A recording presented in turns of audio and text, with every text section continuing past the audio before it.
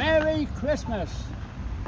I'm here in Timmins at the corners on a tour fair to let people know the meaning of Christmas. If you wish to understand Christmas very well, go to Luke chapter 1 and 2 in the Gospel of Luke. The reason for Christmas, God so loved the world, that's you and me and everybody, that he sent his only begotten Son, that whosoever believeth in him should not perish, but have everlasting life.